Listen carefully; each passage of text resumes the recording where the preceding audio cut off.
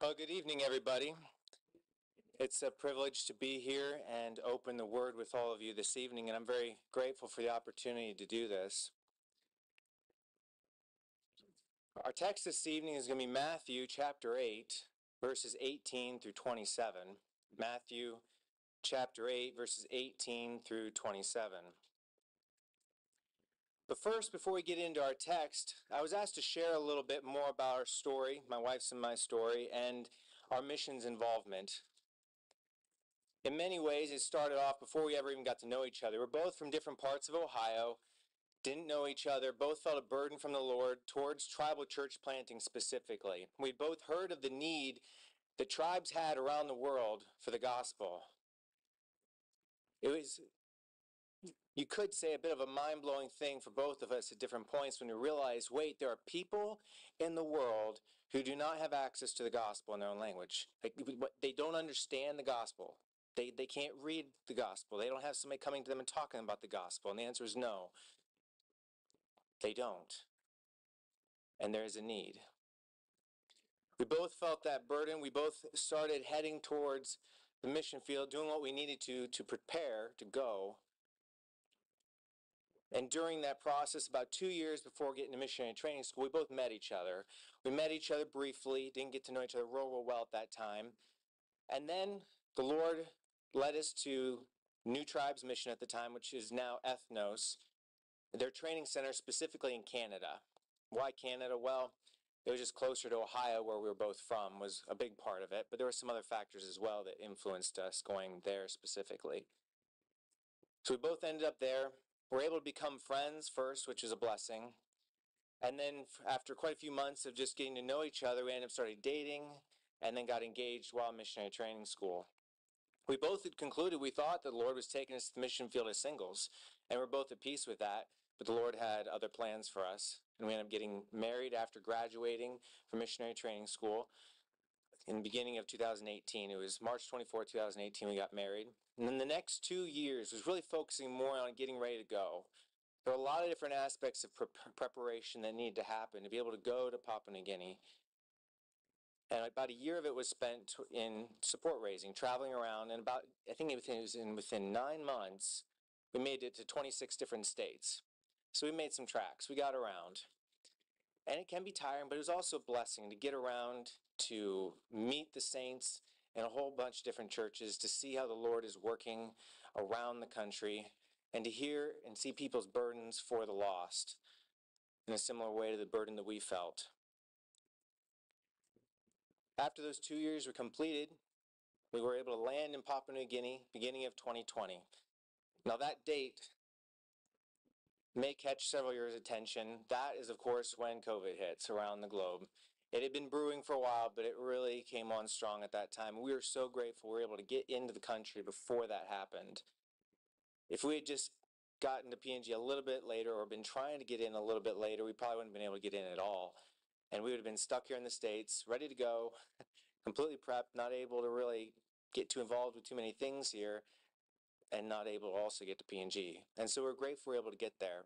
And not only that, but we're able to get started on our language learning before there's there were some lockdowns that came into effect.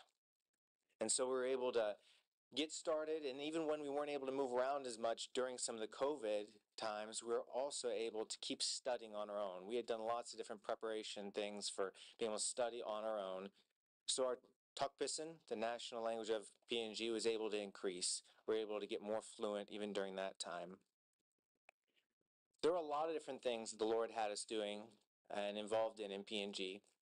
After the, the language and the culture learning, we got to do a uh, what they call bush orientation, go into a tribe that had already been reached with the gospel, and live there with them for a period of time. Get to be exposed to what it's like to be in a remote location, and to really get to see what it's like to see the the goal of a church being planted in a tribe. And I have to tell you, it was so refreshing getting to listen to these believers talk about the fear and bondage that they once lived in, and now the freedom they have in Christ and the hope they have, and even laugh at themselves at times about what they used to believe. We finished up that time and moved into doing surveys. We needed to decide what tribe we were going to go into. We wanted to go reach a tribe, be part of that process of bringing the gospel to a tribe that had not heard the gospel in their own heart language as of yet. But we needed to decide which one to go to. And our team, another family, and a single lady who was working with us had narrowed in on a couple different tribes we thought would be the best options for our team. And so we started off with the one we thought would be the most likely to work for us, and that was the Pano people.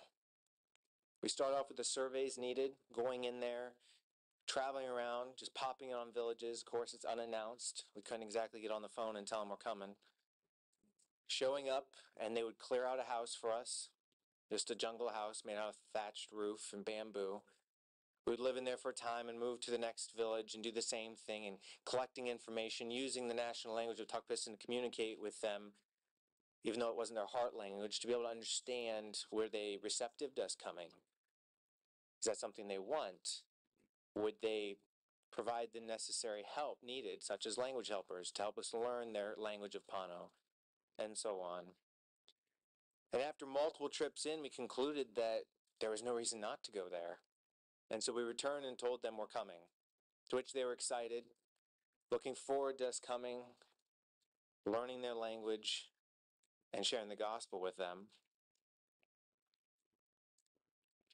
Other things that we had to do while there was house preparation. We need to build houses in that location. There was a lot of effort put into purchasing supplies, figuring out logistics, making house plans.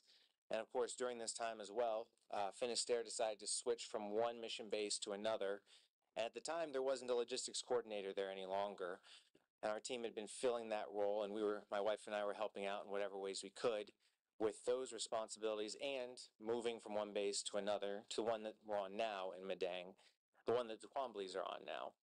And having them there is just such a blessing because after being there ourselves, be, being much more intimately acquainted with the needs of having somebody in that location, of filling out that ministry there in Madang, it was an answer to prayer to hear of them being willing to fill that role. Now, after all those things have been concluded, after being there in two years in country, we and the rest of our teammates were back here in the States for a time, and it was decided that the rest of our teammates would not continue on with missions. And that was hard. At that time, we weren't able to continue forward unless we had teammates. We, we looked for a while to see if we could find some other teammates quickly, if the Lord would open that door quickly for us to continue on in the Pano tribe. And when that door didn't open quickly, we concluded with the involvement of leadership that the right thing to do would be going back to PNG, wrap things up for the sake of our team, and to go into the Pano people and let them know we couldn't come. So we returned towards the end of 2022 to Papua New Guinea. We were there for about six months. Took the time to wrap up everything that needed to be wrapped up. There was a lot of supplies for building multiple houses to deal with that, to ship things to other people that are purchasing it, to ship stuff back to the States, not only for ourselves, but some of our previous teammates, uh, to store other things, and to go into the Pano people and let them know. To let them know that we weren't going to be able to come. That was not a trip I was looking forward to. But it was the right thing to do. They didn't know, and they wouldn't know what happened to us if we didn't return and let them know. We headed into the tribe, and, and praise the Lord, the trip went about as good as it could have gone, making around all the different villages we had before, communicating with them what had taken place, why we weren't able to come now. And overall, their response was very understanding, and it was a blessing that it went so well. And they would say things like this We need somebody to come and tell us about what God has to say. They would say God's talk, tell us about God's talk in our own language so we can understand it before we die. And they have some understanding because they've seen tribes around them have missionaries and the change that that's brought about in the hearts and lives of people around them. And they realize they need that. They wanted that. It was on some of the hardest days that both my wife and I. it was a blessing as hard as it was. Um, it was on some of the hardest, most exhausting, difficult days that both of us simultaneously, uh, different times, independent of each other, had moments where we concluded, no, this is the kind of ministry we want to be involved in. This is where we want to be. This is where we have a burden for.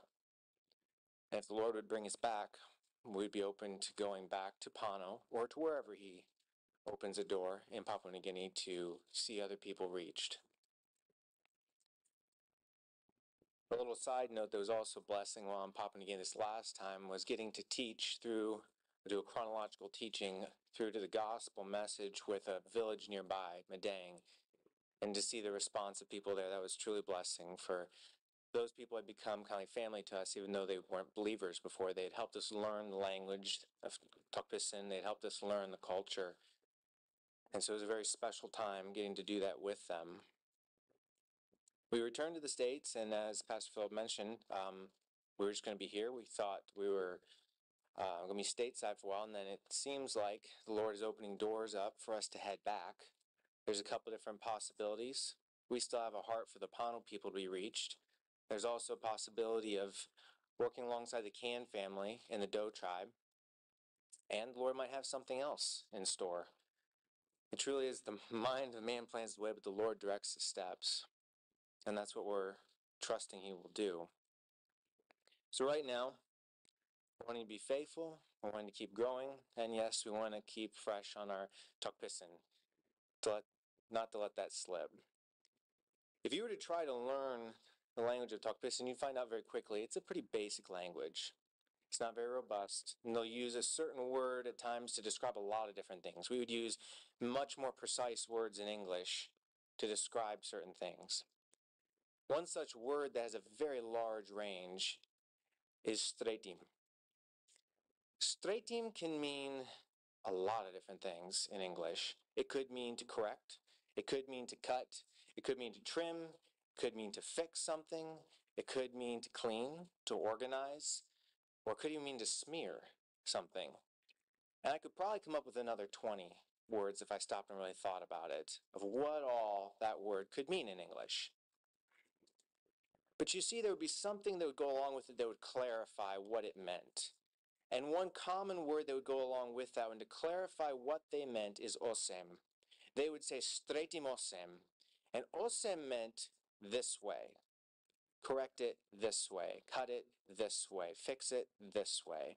And what was embedded in that statement was this follow my example.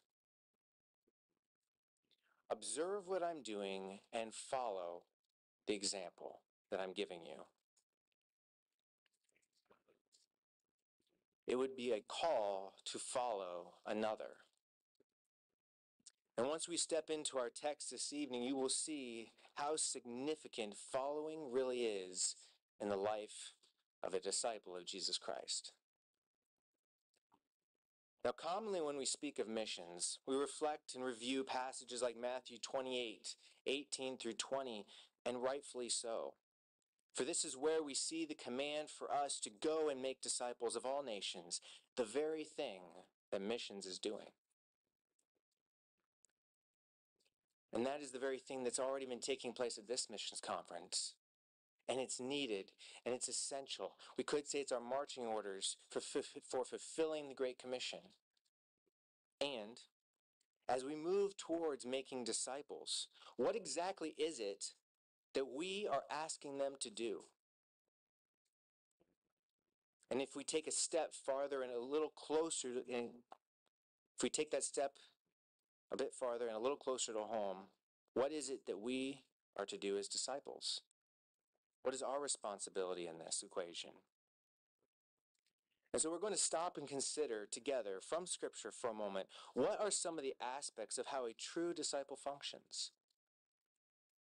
Now, each of these aspects we're going to look at together this evening, when looked at through the lens of missions, are going to have a tendency to look more dramatic at times, but missions are not, they are no less applicable to you and to me and no less of a reality for all those who are disciples of our Lord and Savior Jesus Christ. This evening, the three aspects we will look at together will all directly connect to following. Following our Lord as disciples, which includes following in obedience, as we call others to follow Christ as well. Stretimosem is a call to follow another's example.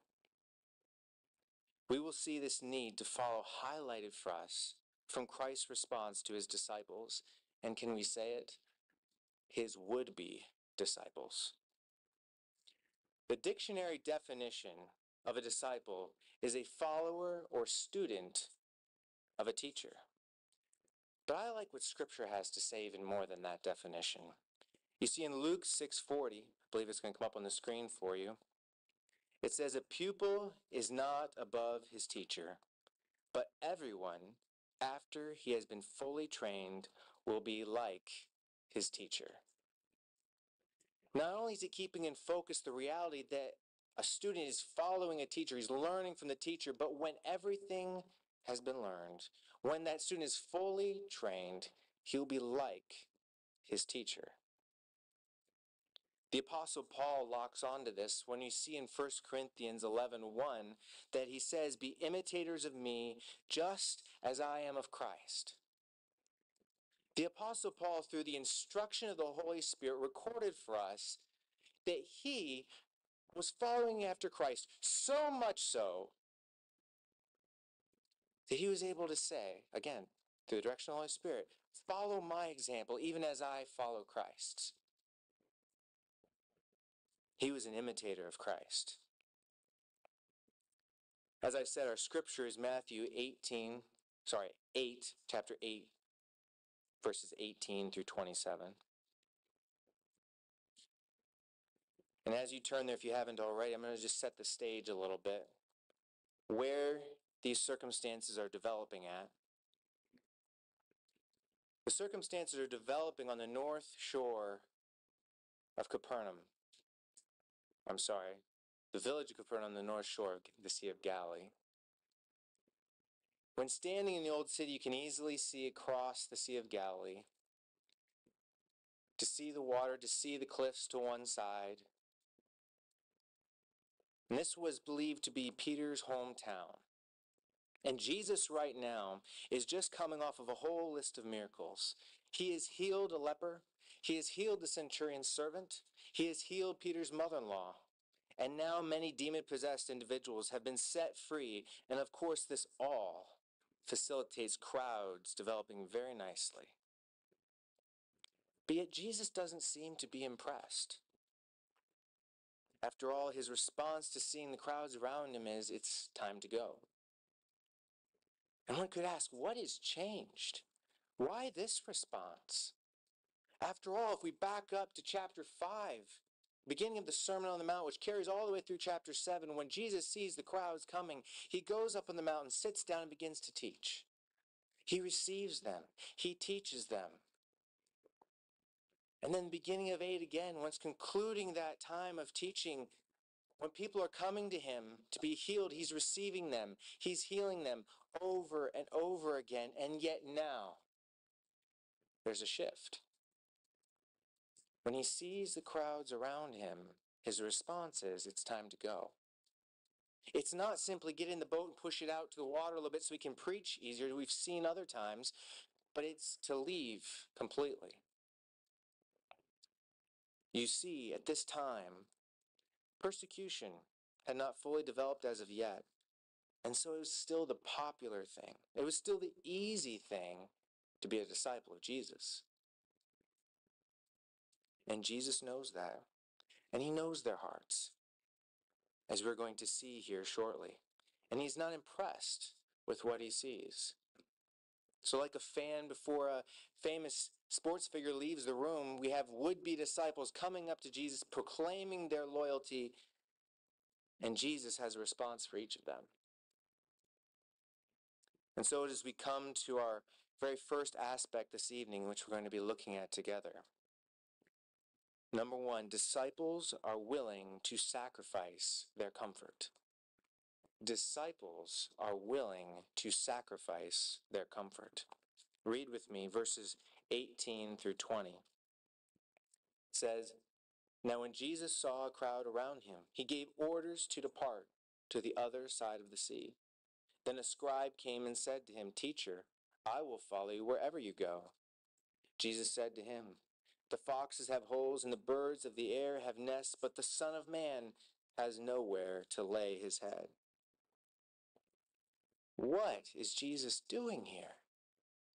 This man just proclaimed his loyalty, and Jesus, you go on talking about the birds of the air and their nests, and the foxes and their holes. But you see, Jesus knows this man's heart, and he is making it abundantly clear what he requires of those who would be his disciples. He requires them to follow him. He requires them to become like him. But you might be thinking, Josh, well, how do we know that Jesus is able to know hearts? Well, first of all, Jesus is also God and knows all things. But beyond that, if you look just a few verses past this location in chapter 8 into chapter 9, you see Jesus not only knowing the thoughts of individuals, but their hearts as well. And if you look further throughout the Gospels, you will see it mentioned that he not only would know the hearts and thoughts of people who followed him, but those who be his adversaries as well. So, too, in this instance, he is able to know their hearts and he has a response for each. The point is, a true disciple has to be willing to sacrifice. Jesus is asking, Are you willing to give up your home, your comfort, your securities, and your familiarity? In response, there's silence. This scribe just seems to go off the scenes completely. It appears as though he wasn't ready to truly follow Jesus, as the believers in Hebrews 10:34 were.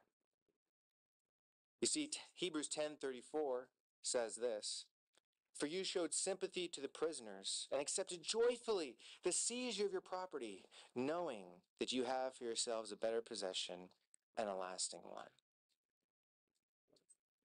They were so ready to follow the Lord so ready to give up their comforts that they were able to joyfully receive it when it happened. Not that they were seeking after it, but when it came to pass, their hearts were able to receive it even with joy. Now you might be thinking, but but what if I'm not faced with ever being without comfort to this degree? What if I'm not doing something like missions where this kind of reality might be a little bit more likely? Believe me, as a child of God, you will be in circumstances where your comfort is at stake for the sake of following Christ. But you don't have to take my word for it. Philippians chapter 1, verse 29 says this For to you it has been granted, for Christ's sake, not only to believe in him, but also to suffer for his sake. Now, Paul is speaking to the Philippian church here, and we know also just from the context that it's to believers very specifically. He's saying now he's been granted to you to believe, but also to suffer. That may come to pass through any number of means. Maybe it's grades take a hit for somebody because of the sake of following Christ. I've heard of that happening. Maybe it's the loss of a job a pay cut, loss of freedom, or even reputation suffering in some capacity. But it will happen. Following is essential in the life of the believer who's a disciple of Jesus Christ. So, our first aspect that Christ wants us to remember was that disciples are willing to sacrifice their comfort. But what about the second aspect? The second one is disciples are willing to be deprived of their priorities. Disciples are willing to be deprived of their priorities. Read with me verses 21 through 22 of Matthew 8. Said another of the disciples said to him, Lord, permit me first to go and bury my father. But Jesus said to him, Follow me and allow the dead to bury their own dead. Once more, we find Jesus addressing the heart of this man also. And Jesus' response could raise some eyebrows, couldn't it? Follow me and allow the dead to bury their own dead. Like foxes have holes and the birds of the air have nests in verse 20, this seemingly nonsensical expression of allow the dead to bury their own dead was a figure of speech, and it meant let the world take care of the things of this world. Or could we say, let the spiritually dead bury their own dead? Now, we don't know exactly what was going on with this young man's father. Had he already died? Was he expecting him to die soon? Or was he wanting to wait till some day in the future, years down the road, when his father might die before he would choose to follow Christ? Nor do we know the motivation. Was it emotional? Was it him wanting to secure his inheritance and wanting to wait to follow after Christ until that time? We're not told. But what we do know is this we know that Christ needed to correct him. After all, that is what he did. He corrected him. And so, once more, like the first man, we have another who disappears without further mention. Jesus' demands were high, and the appeal of discipleship vanished. To be clear, it is not a problem to want to be at a loved one's funeral. It is a problem, however, if that event is more important to you than following Christ. Now, that circumstance isn't, doesn't seem likely to come up very often. I can say that I know of missionaries who have faced that circumstance. And the shocker of all shockers was when the time I heard of multiple instances where that was true, even within the States, that that kind of thing happened. It can be a reality for you and for me. Are we ready and willing? Even in those kinds of circumstances when it comes to not being present when a loved one is passing for the sake of following Christ. For Jesus to say, Follow me, is for him to say, Deny yourself and take up your cross, as Matthew 16 24 says.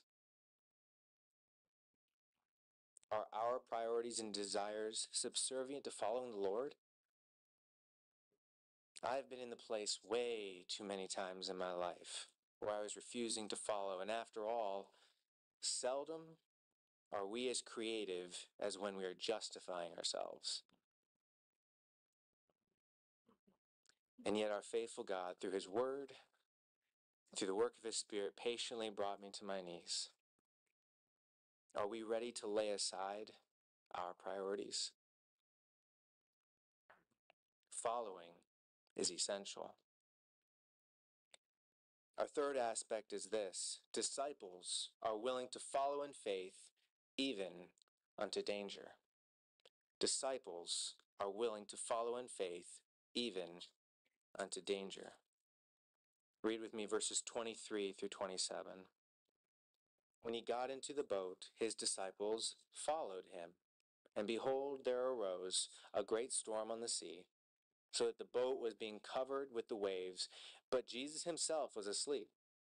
And they came to him and woke him, saying, Save us, Lord, we are perishing. He said to them, Why are you afraid, you men of little faith? Then he got up, rebuked the winds and the sea, and it became perfectly calm. The men were amazed and said, What kind of man is this, that even the winds and the seas obey him? Now, in both Mark chapter 4 and Luke 8, which are the parallel passages to this one, there's an emphasis that Jesus and the disciples went together in the boat to the other side of the Sea of Galilee. But it's here in chapter 8 that we see in Matthew that it's abundantly clear that Christ is the one that initiated in verse 18, and then in verse 23 that his disciples got in the boat with him, following him to the other side. The disciples who got into the boat were the ones acting like true disciples. The true disciple follows and says to themselves, I will follow no matter what. Have you ever heard of the book The Hiding Place? It recounts the true story about Corrie ten Boom and her family. They said, I will follow no matter what. I will do what is right no matter what the cost. That is why during World War II, they made a hidden room and they took in and hid Jews from the Nazis. Eventually, they were found out, and all but one of them gave their lives for that decision. The decision that they made did not mean that they never struggled with fear, but it did mean they followed in faith even unto danger. Corrie, later on in her life, the only one that survived that time in concentration camps, had another opportunity to follow her Lord in obedience. When she came face to face with one of her captors, and as hard as it was, yes, she forgave that prison guard at whose hands that she and her family suffered so much. Referring back to Mark chapter 4, that parallel passage I referenced earlier, we see there that there were other boats that were going along with the disciples and Jesus when they started off. But then when the storm hits, there's no mention of them. And when arriving at the other side of the Sea of Galilee, once again, there's no mention of them. We're not told for sure what happened with those other boats. But since they are no longer mentioned, there is a good chance they too thought that it wasn't worth it to continue on following Jesus to the other side, despite the fact that's what they started off to do. The Sea of Galilee is about 8 miles wide and 13 miles long. And of course, they were going the length of that.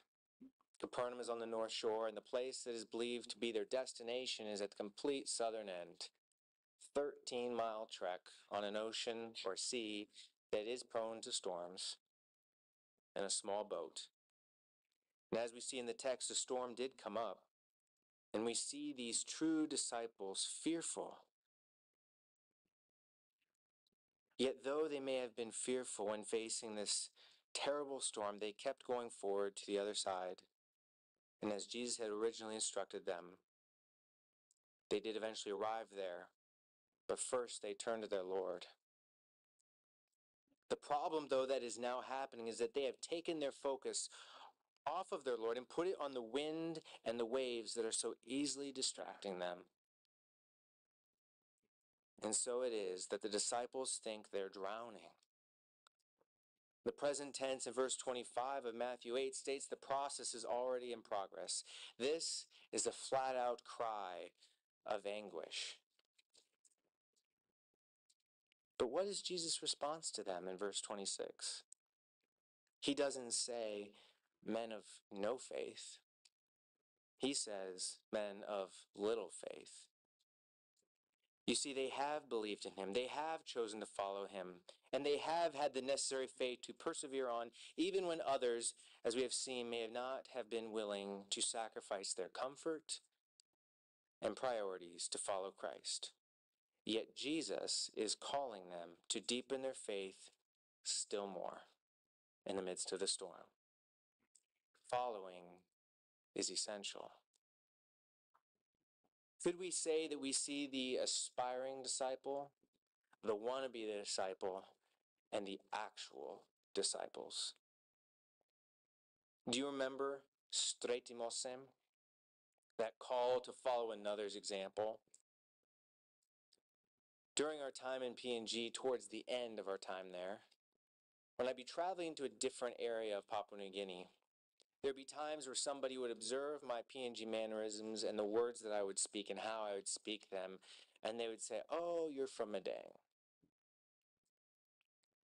Or more importantly, they were recognizing who were the people I was learning from, whose actions I was mimicking, and whose instructions I was following. The more we follow our Lord, the more we too will become recognizable as disciples of Christ. To be a disciple, you must be willing to sacrifice your comfort. To be a disciple, you must be willing to be deprived of your priorities or desires. To be a disciple, you must be willing to live by faith even unto danger. And yes, God will call you to deepen your faith still more and more. And He is the best example. Our Lord and Savior, Jesus Christ, is the best example of all three of these. After all, He left the comforts of heaven to come to this earth. And even if He came to the most comfortable place possible on this earth, it still was a step down. But He didn't just come to the most comfortable place. He was born into what some call a barn and was laid in an animal trough and lived experiencing blood, sweat, and tears in this world. Tempted for 40 days in the wilderness, going without food. And as the text references, apparently periods of time in his life without even a home to call his own. He gave up his comfort to follow the will of the Father. And what about his priorities? His priorities were so in line with the Father that throughout his life, it was perfectly aligned. And we see even from the time he was 12 years old, he told his parents, Didn't you know that I had to be about my Father's business in the temple? Throughout his ministry, he spoke the words that the Father had him speak. And even in Gethsemane, when he prayed, May this cup pass from me, he also said, But not my will, but yours be done. And what about living by faith even unto danger? Not only did he do that perfectly, but he lived by faith even unto death for you and for me, for all those whom the Father will draw to himself. Following is truly significant in the life of a disciple. It starts with following in faith, it continues in obedience and mimicking his example, as Paul did. Brothers and sisters, it can be hard to follow another so thoroughly and completely, but take heart. The one we follow is the one who commands the winds and the waves to be calm, and they listen. What kind of man is this? Jesus Christ, Son of the Most High God, Emmanuel, Wonderful Counselor, Almighty God, the one through whom all things came into existence. That is the kind of man this is.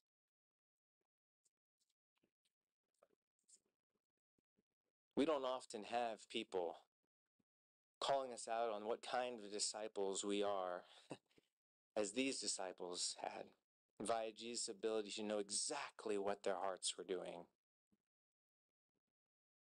But if we did have someone precisely calling us out on what kind of disciple we are, as Jesus was doing, what do you think be said of you? What do you think you'd be called out on? Now, as you consider that, I have one last request. This evening, take some time to pray.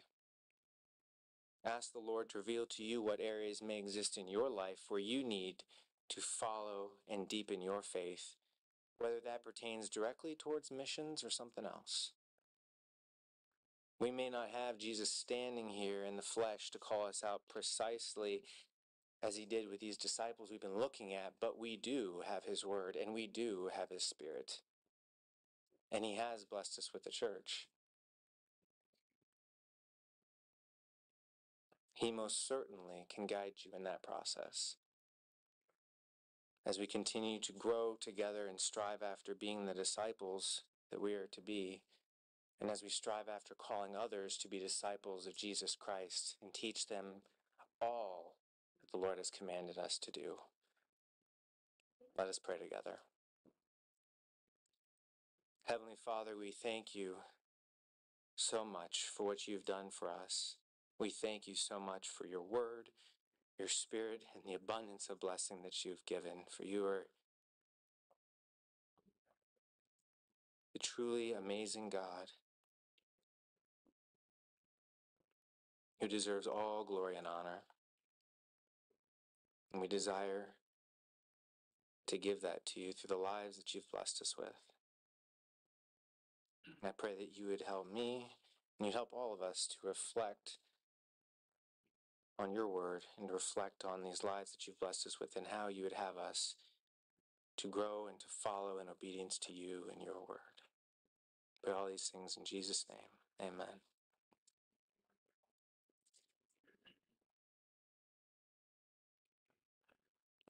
Thank you so much, Brother Josh.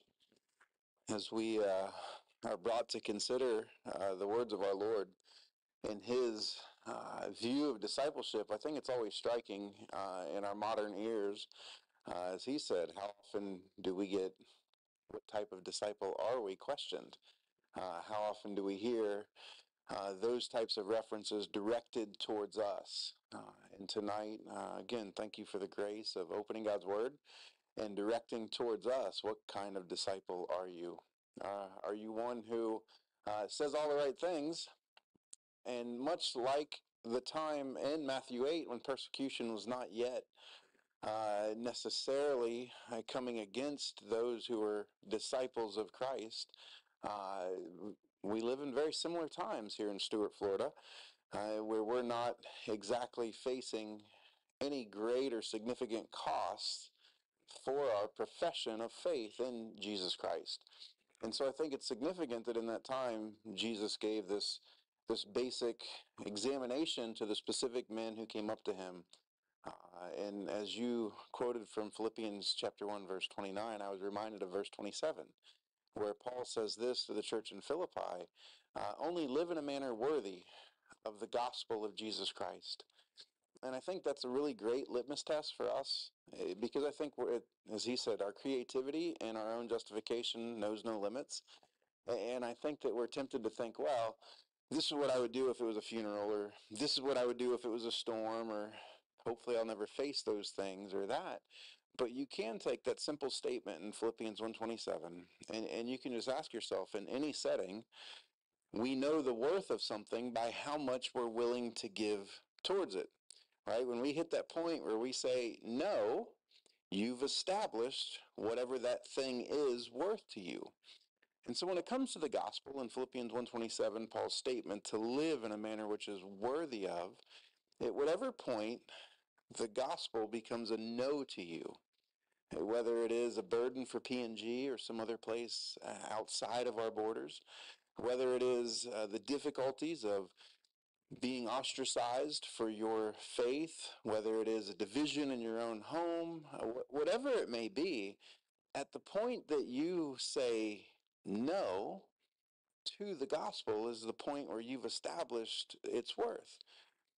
And Lord willing, it's at that point that conviction will come that you've revealed idolatry and you'll repent and turn from it. But that's the simple understanding of what Christ himself, knowing the hearts of men, was able to give but for us to ask, as recipients of the gospel, the question is what is the gospel worth?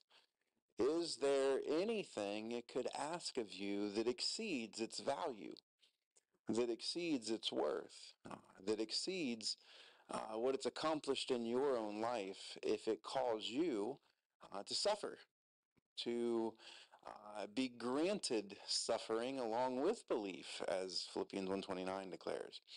And so thankful again, a reminder that that is uh, from the hearts of two who are uh, desiring to, whatever the cost, uh, they have left home and hearth, friends and family, and they have humbled themselves in a multitude of ways and said, Lord, we'll trust you. Uh, and, and, and I can attest to, uh, for many, many months of preparation for them to come, uh, there's nothing he said to you tonight that he's not weighed himself. And so thankful for that. Uh, I'm going to go ahead and dismiss us. And as I do so, I am going to ask if, if you two wouldn't mind being at the back. I'm sure some of the folks now knowing a little bit more about you uh, may have some questions or other things. And so I do want to encourage, please get to know uh, Josh and Autumn Miller. Uh, think of ways that you can pray for them as you now know more fully their burden and desire uh, specific to PNG, the people of Pano, wherever the Lord leads. Uh, but here we are, send us. And so that's kind of our view in that. So thank you again. I'm going to pray. Uh, just a few reminders. Uh, the books that we've spoken of uh, are in the back. Uh, Brother Ransom was unable to be here this evening, uh, but if you'll see myself, uh, I can I can help you with some of the books and different things. Schedule for the week, uh, specifically tomorrow night, 6 p.m. again, Q and A time here, uh, and then Wednesday night, 5 p.m. in the gymnasium uh, for our annual fish fry uh, dinner on the grounds, time together. Followed at 6:30 by our final missions conference service here in the sanctuary. So look forward to you all in the next upcoming days. Let me pray and we'll be dismissed. Lord, we are so thankful that you are our strength, you are our hope, as we've been reminded already prior to tonight. Lord, foxes have holes and, and birds have nests, and those who follow you may not have those, but we have your power, we have your strength, we have your peace. Uh, Lord, we are under your authority, and there's no limitations to those things. And so, Lord, we are tempted to notice and be distracted by the wind, the waves, the limitations, the uh, difficulties.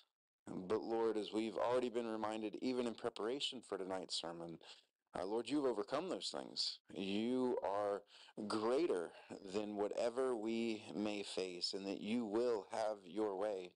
Uh, your name will be great in every tribe and tongue and every nation. Lord, would we be useful vessels to you? We thank you for this time. In Christ's name, amen.